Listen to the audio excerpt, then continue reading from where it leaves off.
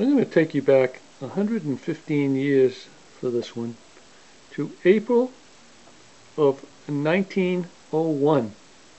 And the title of this is You Can't Keep a Good Man Down, sung by the very prolific and very entertaining Dan W. Quinn. And as you can see, this is an early 10-inch Victor, Victor Monarch record. They call this a pre-dog because it's before they put the Nipper Dog on the record album, record label. So I'm going to play this for you now. Let's put this on. This is like an Irish comedy about McManus, who never knows when to come down. It's kind of a play on words.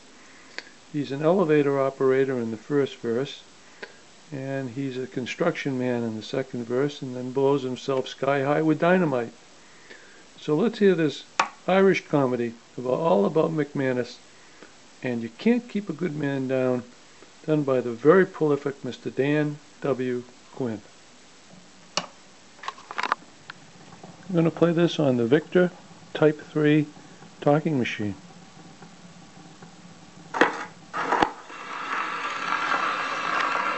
You Can Keep a Good Man Down, sung by Mr. Dan W. Quinn.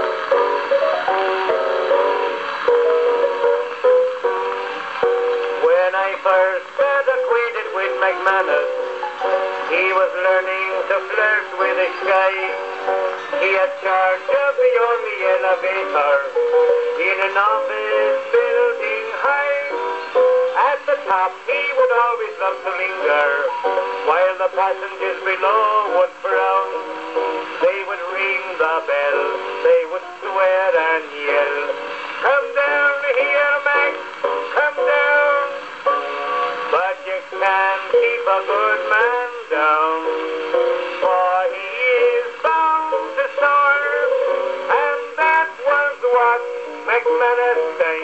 As he rose from floor to floor.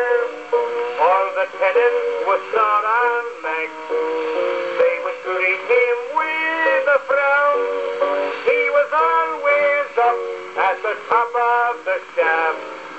For you can't keep a good man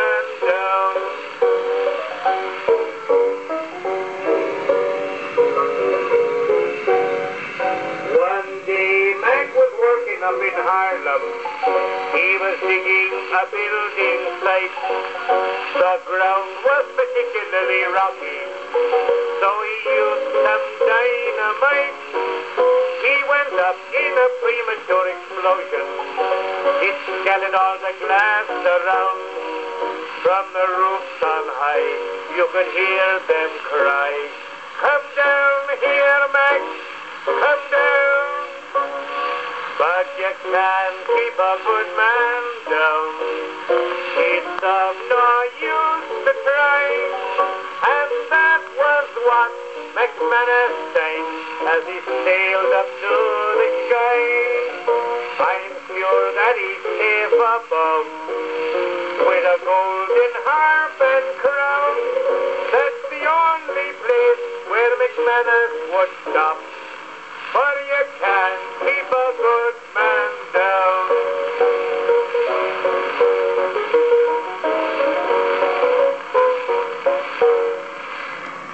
There's that delightful Irish Irish comic, Mr. Dan W. Quinn, singing You Can't Keep a Good Man Down, done on this uh, very early Victor Monarch record from April of 1901.